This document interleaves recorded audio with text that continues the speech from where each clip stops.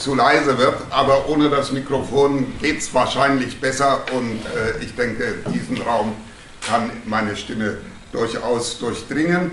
Ich äh, wollte zunächst einmal sagen, Liberalismus ist natürlich mehr als Marktwirtschaft, aber mit Marktwirtschaft will ich mich heute mal beschäftigen und äh, zwar ganz speziell mit der Frage, gibt es da Möglichkeiten zwischen Marktwirtschaft und Kapitalismus zu unterscheiden?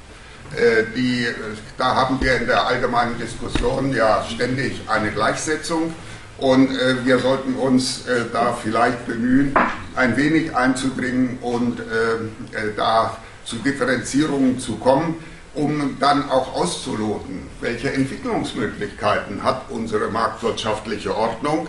Müssen wir mit Defiziten, die wir heute erleben, weiterhin leben oder gibt es da marktwirtschaftliche Wege, diese Defizite, die wir erleben, zu überwinden. Und äh, da äh, in diesen äh, Fragestellungen liegt sicher manche Provokation. Es geht mir heute gar nicht darum, äh, Sie von den Möglichkeiten, die ich hier andeuten will, Sie zu überzeugen. Äh, dazu braucht man mehr Zeit, als heute hier zur Verfügung steht, sondern ich will versuchen, Ihnen diese Ideen ein wenig vorzustellen, äh, damit Sie weil Sie mal davon gehört haben, äh, dann in Ihrem weiteren Leben vielleicht hin und wieder Anlässe finden, darüber noch mehr nachzudenken. Mehr will ich heute nicht erreichen und äh, deswegen wird manches äh, dann auch bewusst pointiert, provozierend formuliert sein. Und ich will die Einleitung kurz halten, nur kurz machen, damit wir dann in der Diskussion auf die Dinge vertieft eingehen, wo Sie besondere Gegenpositionen beziehen wollen. Und wenn Sie mir dann gestatten, auf Ihre Gegenpositionen vielleicht gelegentlich etwas ausführlicher zu antworten äh, und mir das nicht übel nehmen, ich will es in der Einleitung gar nicht erst versuchen, äh, zu sehr in die Details zu geraten. Ganz klar, Liberalismus ist mehr als Marktwirtschaft. Liberalismus ist Demokratie und Rechtsstaat. Und äh, wir äh, bemühen uns auch um religiöse und kulturelle Freiheit. Und wie Ihnen vielleicht schon die Einleitung gezeigt hat, geht es mir persönlich auch sehr um die pädagogische Freiheit, weil wir diese zu wenig entwickelt haben in unserem Bildungswesen. Äh, finden wir alle äh, Defizite dessen, was erreicht wird an pädagogischer Qualität und äh, an den Ergebnissen äh, der pädagogischen Prozesse in unseren Schulen. Äh, das äh, nur zu dem Beschäftigungsfeld, äh, das äh, ich durchaus als für den Liberalismus wichtig ansehe, dass man sich mit Kultur, Staat und Wirtschaft beschäftigt und manches in der Wirtschaft erst versteht, äh, wenn man gesehen hat, dass das Kulturleben nach zwar freiheitlichen, aber anderen Motivationen der Beteiligten lebt, als wir sie im Wirtschaftsleben ausleben und äh, dass von daher manches erst verständlich wird, wenn man beide Pole in Betracht zieht. Den Homo economicus einerseits und sein Gegenbild andererseits, dem ich jetzt keinen Namen geben will. Sie merken schon daran, uns fehlt da eine Sozialwissenschaft, die sich mit dem kulturellen Reichtum der Nationen so beschäftigt, wie die Wirtschaftswissenschaft das jetzt seit über 200 Jahren getan hat. Und äh, das, das, erklärt ein wenig, warum wir in der Bildungspolitik so einen Krebsgang haben, äh, dass es mal mehr Freiheit gibt und dann wieder mehr Zentralismus, äh, dass man äh, in den gegebenen Verhältnissen, wie wir sie in der Bundesrepublik haben, da besonders äh, unwohl fühlt und insbesondere ganz aktuell in der FDP da auch wieder sehr streitet, ob wir mit der föderalen Ordnung unseres Bildungswesens gut bedient sind oder ob wir da nicht wesentlich stärker zentralisieren sollten. Es gibt ja dazu dann einen Sonderparteitag und äh, dem sehe ich schon mit gewissen Befürchtungen entgegen. Aber das soll es jetzt äh, sein zum allgemeinen Rahmen. Die äh, marktwirtschaftliche Ordnung zeichnet sich ja dadurch aus, dass sie die Freiheit der Person, sei es die Freiheit als Produzent, sei es die Freiheit als Konsument, ganz in den Vordergrund stellt und darauf vertraut, dass in freien Verträgen zwischen freien Menschen sinnvolle ökonomische Lösungen zustande kommen. Die Aufgabe der Wirtschaftsordnung ist es dann, dafür zu sorgen, dass im Austausch ökonomischer Leistungen Gerechtigkeit gewahrt wird, Tauschgerechtigkeit gewahrt wird, Leistung gleich Gegenleistung ist, oft verkürzt in den Satz, Leistung soll sich wieder lohnen, sie soll ihren vollen Lohn erhalten, aber das Wesentliche ist eigentlich das Vertrauen darauf, dass im Spiel von Angebot und Nachfrage gerechte Preise erzielt werden können. Und es ist das Verdienst der Freiburger Schule der Nationalökonomie, zu der auch Franz Böhm, mein Lehrer, gehörte. Er war Jurist, ich bin übrigens auch Jurist geworden, das war ein wenig verunglückt in Ihrer Vorstellung. Volkswirtschaftslehre habe ich nebenbei betrieben, das haben Sie richtig gesagt. Äh, abgeschlossen habe ich ein Jurastudium und äh, zwar in Bonn aus politischem Interesse und dann in Frankfurt, weil ich von Franz Böhm die schöne kleine Broschüre gelesen hatte, Wirtschaftsordnung und Staatsverfassung. Damals gab es einen Streit darüber, äh, ob mit dem Grundgesetz eine, nur eine bestimmte wirtschaftliche Ordnung verbunden ist oder ob das Grundgesetz in der Frage der Wirtschaftsordnung neutral ist, ob man also eine Zentralverwaltungswirtschaft mit dem Grundgesetz betreiben kann, ja oder nein. Hat Franz Böhm darauf aufmerksam gemacht, wenn man die Grundrechte ernst nimmt, kann man nur eine Marktwirtschaft machen und äh, da ist es dann ausgeschlossen, eine Zentralplanwirtschaft zu machen. Klammer auf, wie machen wir es im Schulwesen, Klammer zu. Also, in, äh, äh, der, das Wesentliche der Freiburger Schule der Nationalökonomie war dann, dass sie die Bedingungen benannt hat, unter denen Angebot und Nachfrage sich zu fairen Preisen ausgleichen. Dazu muss Wettbewerb auf beiden Seiten der Märkte herrschen. Es darf nicht die eine Marktseite ein Monopol haben, es dürfen nicht beide Marktseiten Monopole haben. Man soll Monopole nicht dadurch bekämpfen, dass man der anderen Marktseite auch ein Monopol zubildet, billigt, wie wir das auf den Arbeitsmärkten heute noch machen, beiderseitiges Monopol, den Versuch mit einem Machtgleichgewicht die Verhältnisse zu regeln, sondern die Idee der sozialen Marktwirtschaft ist eben die, Machtlosigkeit auf beiden Marktseiten herzustellen, also eine vollständige Konkurrenz. Der Nationalökonom Walter Eucken, der die dominante Figur im Freiburger Kreis äh, war, äh, der äh, Walter Eucken hat in seiner Marktformenlehre sehr anschauliche Begriffe gebildet, was ein Monopol ist, was vollständige Konkurrenz ist und was ein Oligopol ist. Beim Monopol Marktbeherrschung klar, ganz einfache Begriffsbildung. Beim Oligopol, hat, das sind wenige, sind auf einer Marktseite, entweder auf der Angebotsseite oder auf der Nachfrageseite, gibt es nur wenige Handelnde.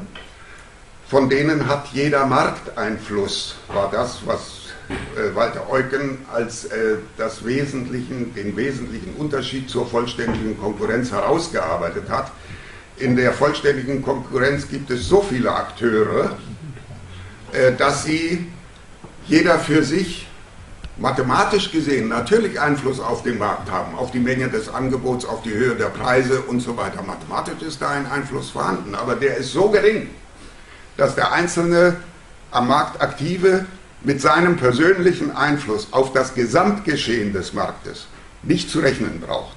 Er hat das schöne Beispiel verwendet, wenn Sie einen Eimer Wasser in den Bodensee gießen, steigt natürlich der Pegel des Bodensees.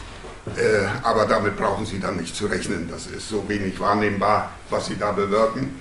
Damit rechnen Sie dann nicht, äh, wenn Sie so etwas tun. Das ist ein sehr anschaulicher Begriff. Ich mache darauf aufmerksam, weil es in der Volkswirtschaftslehre dann ganz andere Begriffe über den Wettbewerb Monopol und so weiter gibt. Da finden Sie bei denen, die mathematisieren, äh, dann gerne äh, so eine Vorstellung, da haben wir auf der einen Seite die vollständige Konkurrenz, auf der anderen Seite das Monopol.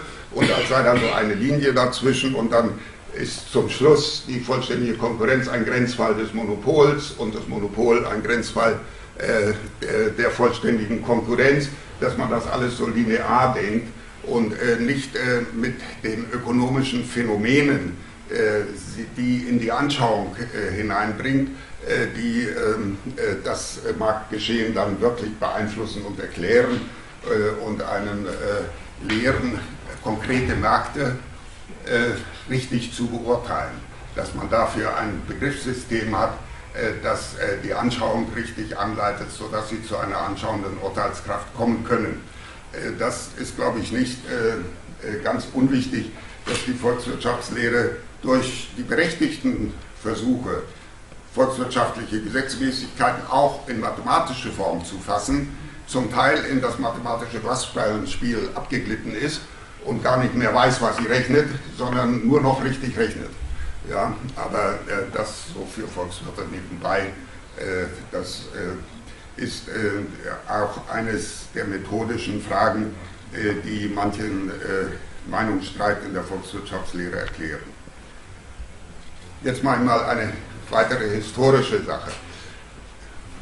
Ja, Ihnen allen ist klar, dass die Freiburger Schule der Nationalökonomie äh, nochmal ein völliges Neudurchdenken äh, der Grundlagen der marktwirtschaftlichen Ordnung war, dass man die Wildwüchse, äh, die es bis in die Weimarer Republik hineingegeben hatte, äh, die Nachlässigkeit gegenüber Kartellbildung und so weiter, dass dazu alles neue Grundlagen gelegt wurden, um sich klar zu werden, der Staat muss eine aktivere Rolle einnehmen in der Setzung einer Wirtschaftsordnung, die zum Beispiel Kartelle nicht erlaubt, Monopole zurückdrängt, äh, sich nicht darauf beschränkt, Missbrauchsaufsicht über wirtschaftliche Macht auszuüben, sondern die versucht, diese Machtpositionen zu zerstören, zu entflechten, wirklich zu vollständiger Konkurrenz zu kommen und sich nicht damit zu begnügen, dass es in Oligopolen ja ganz offensichtlich einen sehr harten Wettbewerb gibt, der menschlich für die Beteiligten oft unerträglich sein kann, hochriskant ist, weil man von dem Handeln einzelner anderer Wettbewerber immer abhängt als Oligopolist. Äh, das ist ein unberechenbarer Markt, äh, dessen Reaktionen man nie so richtig voraussagen kann. Und äh, deswegen sind die oligopolistischen Strukturen nicht nur immer in der Gefahr, so ausbeuterisch zu sein gegenüber der Marktgegenseite wie ein Monopol, sondern sie sind vor allen Dingen auch Märkte, die deswegen nicht effizient sind, weil sie für die Beteiligten schwer zu überschauen sind. Sie haben ja gerade äh, in den letzten Monaten äh, von den Bemühungen des Kartellamtes, die Benzinmärkte ein wenig zu durchleuchten, äh, wahrgenommen und da etwas gelesen über Parallelverhalten der Oligopolisten auf dem Medizinmarkt. Auf vielen anderen Märkten haben wir solche Vermachtungssituationen auch. Jetzt aber nochmal, welche gesellschaftlichen Strukturen wurden überwunden, seit es die moderne Wirtschaftswissenschaft gibt, seit Adam Smith und so weiter. Was wir übernommen haben, waren feudalistische Strukturen, äh, in denen äh, ein Teil äh, der Gesellschaft ausgebeutet wurde, im Wesentlichen von der bodenbesitzenden Klasse. Man wuchs in privilegierte Positionen durch Geburt hinein und die, der Liberalismus hat versucht, diese Vorrechte der Geburt zu durchbrechen und diese äh, Immobilität, äh, die insbesondere mit den Rechtsordnungen rund um Grund und Boden verbunden war, die zu überwinden, indem der Boden handelbar gemacht wurde. Wir haben heute eine für Liberale schon einmal ganz erfreuliche Verteilung des Bodeneigentums in der Gesellschaft, aber wir haben einen schwierigen Bodenmarkt. Kommen da vielleicht noch im Einzelnen darauf. Äh, der funktioniert nicht so wie andere Märkte. Die Bodenpreise verhalten sich anders. Äh, wenn der Preis steigt, steigt nicht das Angebot, sondern es sinkt oh, und so weiter und so weiter. Also wir haben ganz irreguläre Verhaltensweisen auf diesem Bodenmarkt und wir haben immer mit dem Bodeneigentum verbunden ein Einkommen, für das man nicht arbeiten muss. So wie die alten Feudalherren. Also jeder Bodeneigentümer darf sich als ein kleiner Feudalherr empfinden. Und wenn er ein durchschnittlich wertvolles Stück Boden hat, dann kann er sich demokratisch wohlfühlen und sagen, das ist doch einer Demokratie angemessen. Äh, ich habe eine Bodenrente wie ein Feudalherr, auch bei meinem Einfamilienhaus. Wenn ich dann habe ich eine Konsumentenrente, da kriege ich sie nicht in Geld, aber ich habe eben den Vorteil des schönen Grundstücks am See oder so. Ja, ja, hatte auch der Sozialismus dieses Problem, dass äh, jedes Grundstück natürlich wohnungsmäßig nur immer von einem genutzt werden kann oder einer Familie und äh, dass da eben deswegen die schönen Seegrundstücke natürlich nach gesellschaftlichem Verdienst vergeben werden musste oder eben einfach in irgendeinem Erbgang weiter blieb äh, und so weiter. Die wollten sich ja davon ganz frei machen. Eigentum an Grund und Boden sollte es nicht geben. In der DDR-Gesetzgebung war das richtiggehend niemands Eigentum. Es war nicht Staatseigentum, wie das hier im Westen dann gewesen wäre, in einer ähnlichen Struktur, sondern es war sehr bewusst als niemands Eigentum. Und dafür musste man auch nichts bezahlen für die Nutzung von Grund und Boden. Also eine Bodenrente fand da gar nicht statt in der sozialistischen Wirtschaftsordnung. Es gab dann nur aber natürlich die Realität der Konsumentenrente. Der eine hatte das schöne Grundstück, der andere das weniger gute Grundstück und so weiter. Es ist also ganz amüsant, sich mit der Bodenordnung der DDR zu beschäftigen, wo man die Grundbücher verbrennen wollte. Das brachten die Grundbuchbeamten dann Gott sei Dank nicht über sich. Die haben das erstmal in ein Lager verschoben und dort planmäßig vergessen, so wie gute preußische Beamte eben sind. Und deswegen fand man noch so viele Grundbücher. Nur in der Realität war natürlich das Katasterwesen nicht mehr gepflegt, äh, die Grundstücksgrenzen waren alle untergegangen und so weiter. Nicht? Und dann machten wir mit dem Einigungsvertrag den großen Fehler, äh, zu sagen, Rückgabe statt Entschädigung. Und das war natürlich eine ökonomische Vollkatastrophe, der dann ein Gesetz folgte, das Investitionsvorranggesetz, wo man das gerade zurückgegebene Eigentum sofort wieder enteignete, damit die Wirtschaft überhaupt in Gang kommen konnte. Lambsdorff hat das leider zu spät gemerkt. Ich habe ihn mal am Rande des Hannoveraner Parteitags zu der Frage zur Rede gestellt. Es war ein grober marktwirtschaftlicher Fehler, diese Rückgabe vor Entschädigung.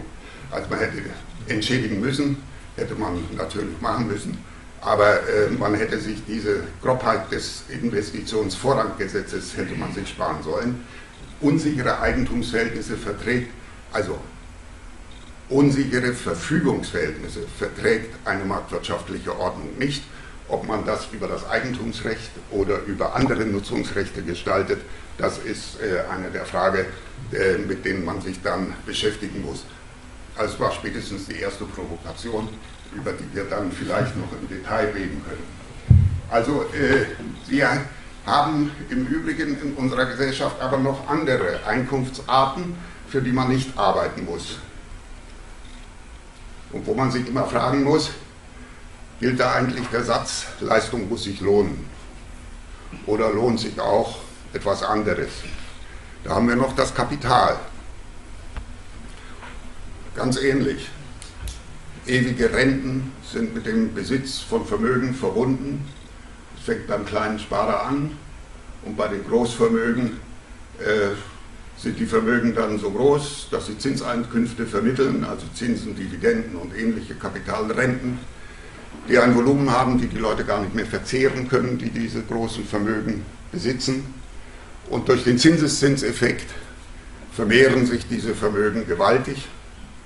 Es gibt da so eine nette Faustformel, wenn Sie den Zinssatz, den Sie wirklich erwirtschaften, auf Dauer kontinuierlich erwirtschaften, nehmen als Teiler für die Zahl 72, dann haben Sie äh, die Zeitdauer die es braucht, äh, bis sich das Kapital durch den Zinseszinseffekt, wenn Sie von den Zinsen nichts verbrauchen, das angelegte Kapital verdoppelt hat.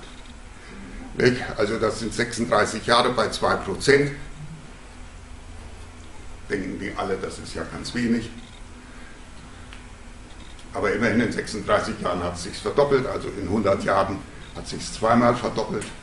Dann ist aus 1 zunächst 2 geworden, aus 2 ist 4 geworden aus 4 mal 4 ist schon 16 geworden. Also es geht dann rasend äh, aufwärts, der äh, Zinseszinseffekt äh, hat eine progressive Wirkung und nicht bloß eine lineare. Äh, deswegen äh, steigen die großen Vermögen rasant an, wenn sie einigermaßen vernünftig verwaltet werden. Das einzige Heilmittel, es gibt Erbgänge, hoffentlich gibt es viele Kinder, dass es sich immer in viele Teile verteilt und äh, es wird, gibt Misswirtschaft äh, und äh, auch dadurch geht dann Vermögen von einer Hand in die andere. Meistens wird es ja nicht vernichtet, sondern nur äh, der Besitzer wird gewechselt äh, etc., wenn Vermögen verloren gehen. äh, etc. Der Volkswirtschaft bleibt es Gott sei Dank in der Regel erhalten. Also, diese ähm, Dinge gibt es, aber wir müssen sehen, wir haben hier Phänomene in unserer Gesellschaft, wo äh, man sich fragen muss, wie steht der Liberalismus eigentlich dazu? Hat das nicht einen feudalen Charakter? Auch die Kapitalrente, ähnlich wie die Bodenrente. Ähm, wäre es nicht wünschenswert, dass das so langsam verschwindet? Also es verschwindet schon. Das Kapital vermehrt sich, und hat eine deutliche Wirkung auf die Höhe der durchschnittlich erzielten Zinsen. Der Sachverständigenrat für die gesamtwirtschaftliche Entwicklung hatte in seinem Jahresgutachten 2007, 2008 mal schöne Grafiken gemacht. Dort wurde abgebildet, äh, wie hoch sind die am Kapitalmarkt gewährten Zinsen für zehnjährige Staatsanleihen, also für allererste Adressen. Äh, und äh, wenn wir davon, von diesen Nominalzinsen, die jeweilige Inflationsrate aus, abziehen, was war dann die Realverzinsung? Und dann haben sie Anfang der 80er Jahre dann noch Realverzinsungen von 6, 8 Prozent. Dann hatten wir lange Zeit eine Realverzinsung in der Größenordnung von 4 Prozent. Ein ziemlich schmales Band über eine lange Zeit. Und wir haben seit diesem vergangenen Jahrzehnt, also etwa seit der Jahrtausendwende, eine Realverzinsung bei 2 Prozent für zehnjährige erstklassige Staatsanleihen. Wenn mehr Zinsen bezahlt werden, sind das Risikoprämien. Dann ist das im Vergleich zu der sicheren Anleihe, die Sie mit Sicherheit zurückbezahlt bekommen, ist dieser Risikozuschlag eine Art Versicherungsprämie, eine Gegenleistung. Und deswegen, äh, wer dann höhere Zinsen bekommt, der muss dann weil es ist eine Versicherungsprämie, gelegentlich auch mal einen Verlust erleiden. Das ist ja das, was über Griechenland jetzt diskutiert wird, soll man die privaten Gläubiger, die da zusätzliche Zinsen hatten und gerne eingenommen hatten, soll man denen jetzt sagen, das, was ihr mehr hattet als bei einer Anleihe der Bundesrepublik Deutschland, das war eine Risikoprämie, jetzt bitte tragt dieses Risiko auch. Ihr habt Griechenland das Geld gegeben. Und äh, also äh, diese Fragen äh, der, der äh, Realverzinsung sollte man messen an den ganz sicheren äh, Staatsanleihen von mindestens zehnjähriger Laufzeit. Und äh, da ist das Zinsniveau, und zwar international, äh, ebenso stark gesunken. Das Kapital ist ja global verfügbar, global beweglich. Äh, deswegen gleichen sich die Kapitalzinsverhältnisse eben aus. Und der Sachverständigenrat hat das mit schönen Grafiken äh, nachgewiesen, eben nicht nur äh, für äh, Deutschland und Europa, sondern eben auch für die USA und andere Länder. In dieser Situation sollte man sich fragen, ist dieser Prozess mit den 2% Realverzinsung eigentlich schon abgeschlossen? Kann sich das Kapital nicht weiter vermehren, wenn wir eine halbwegs vernünftige Wirtschaftspolitik machen, ohne große Wirtschaftskrisen?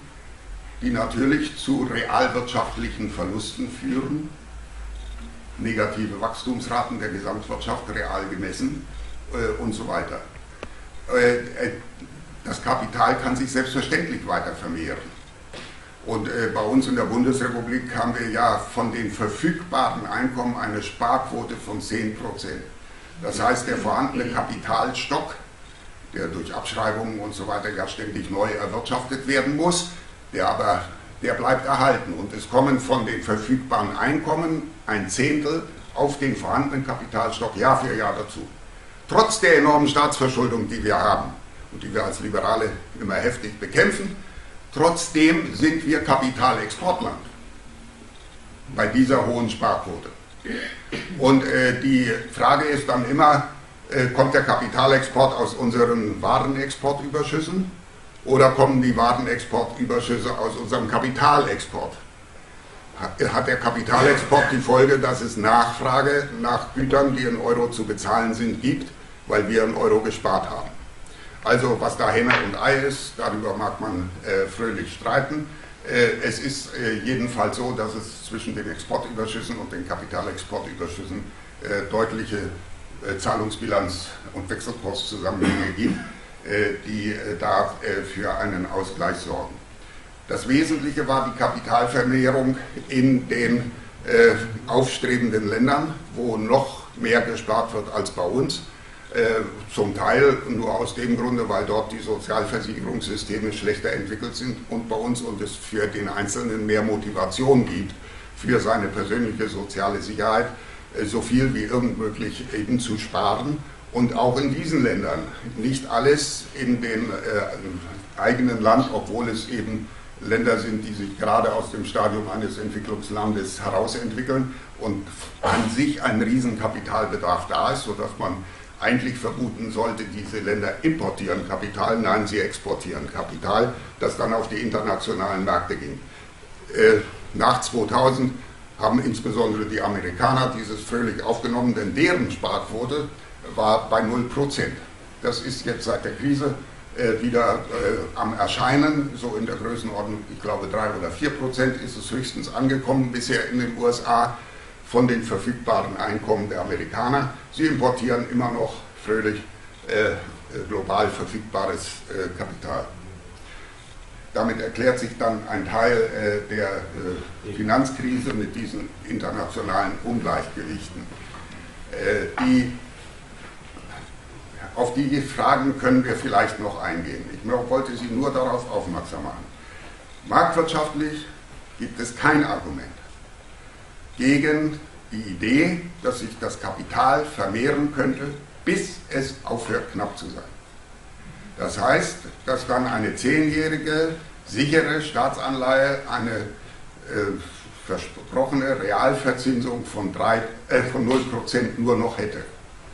Ganz egal, wie hoch die Inflationsrate ist, äh, wenn äh, die Inflationsrate 2% ist, wie es die äh, Europäische Zentralbank anstrebt, dann würde eben ein Nominalzins von 2% abzüglich dieser 2% Inflationsrate eine Realverzinsung von 0% bedeuten. Das heißt, eine Vermögensvermehrung würde nicht mehr stattfinden bei den funktionslosen Investoren, wie Keynes sie genannt hatte, die eben ohne dass sie selber persönliches Risiko für Investitionen übernehmen, sondern sie übernehmen nur das Risiko, jemand anders das Geld zu leihen und der zahlt Zins und Tilgung brav zurück, ist also ein sicherer äh, äh Schuldner.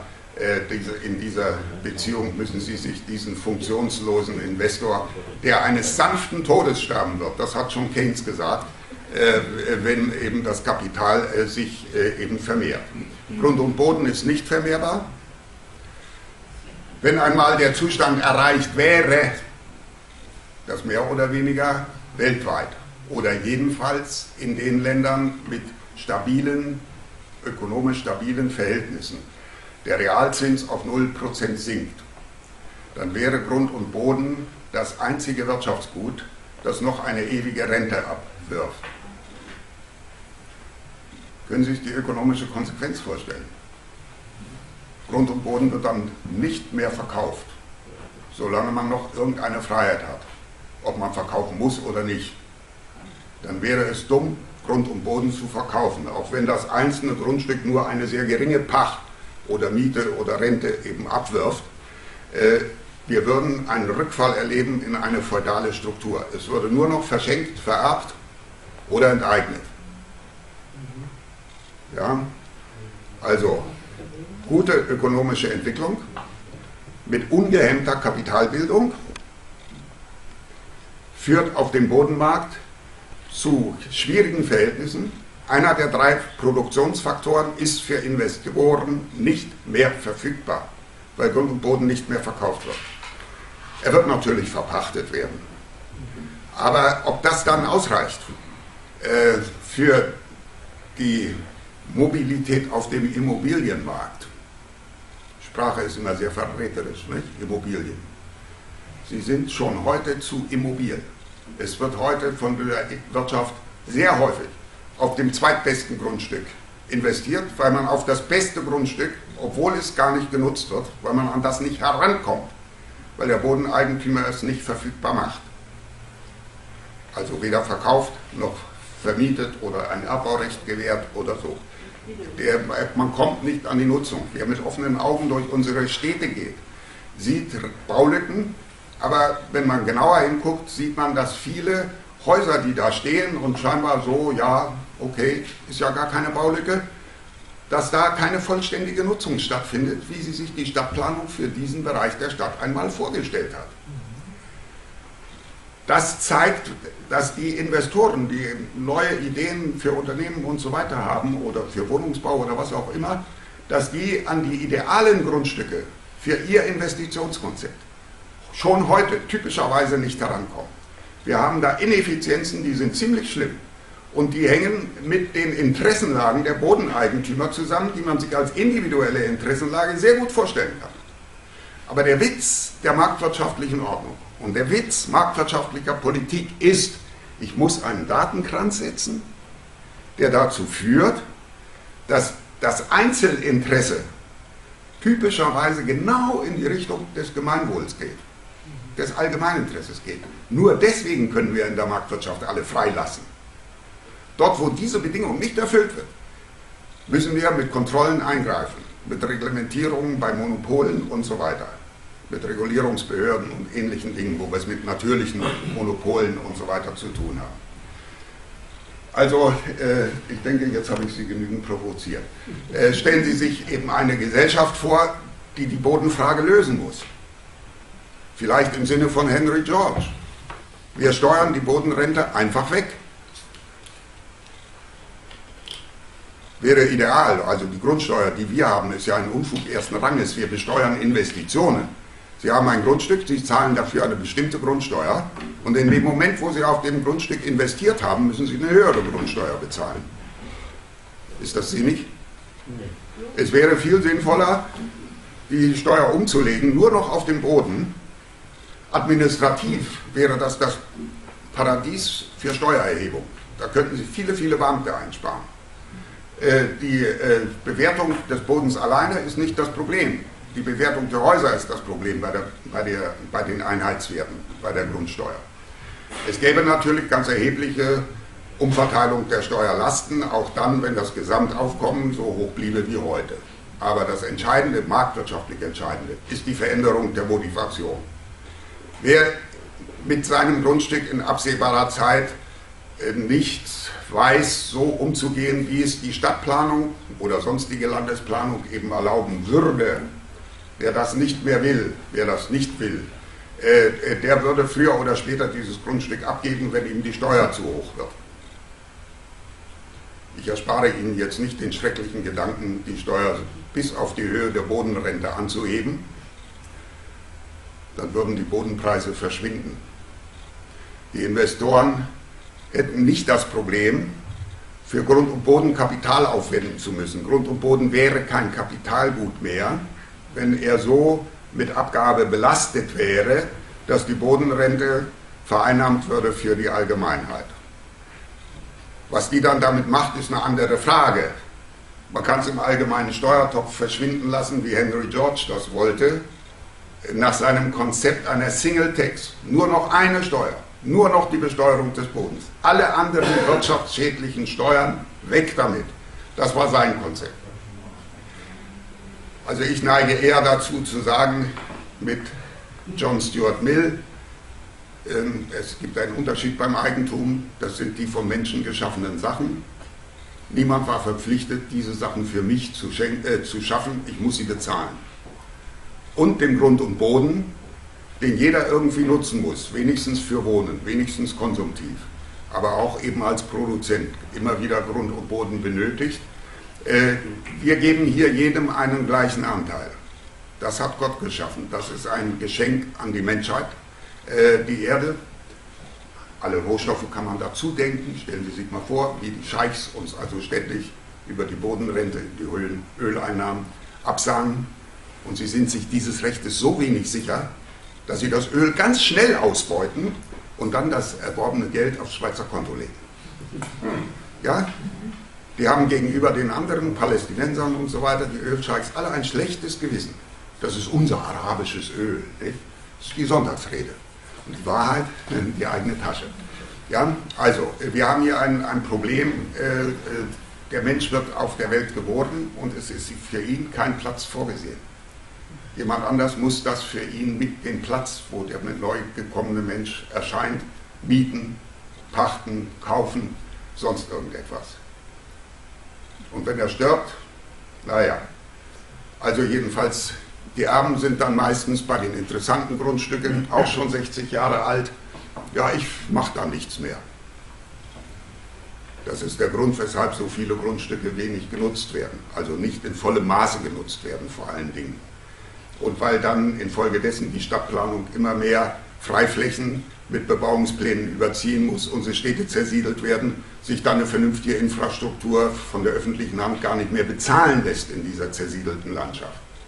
Wir bräuchten eine wesentlich verdichtete, verdichtete Bebauung. Nur noch ein Beispiel dafür, Hongkong steht auf Kroneigentum. Einer der kapitalistischsten Staaten der Welt steht auf Kroneigentum. Es gibt dort nur Erbbaurechte. Es funktioniert. Die Ausgestaltung im Detail, darüber kann man dann sicher diskutieren.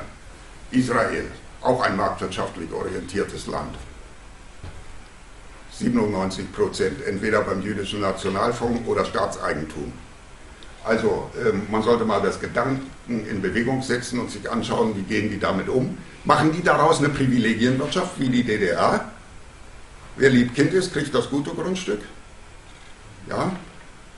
Bei der Gründung des Staates Israel war man sich der Problematik, dass äh, die Palästinenser, denen man das Land abkauft, in eine Knechtesituation abgleiten könnten, sehr bewusst.